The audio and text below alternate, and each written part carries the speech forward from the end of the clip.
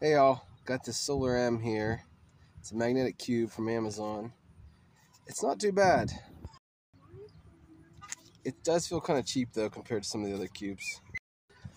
So this is what it looks like. Let me get out of the box here. It's not too bad. I wish it it's it just feels kind of cheap. And you can tighten it a little bit um, underneath here. It also comes with a little stand, also a little toolkit. This is what the toolkit includes.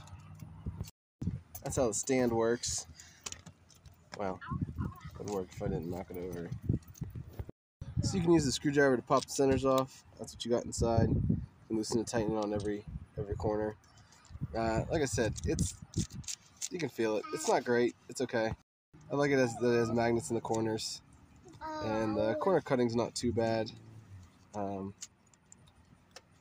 can't really do it with one hand. That's what corner cutting would look like.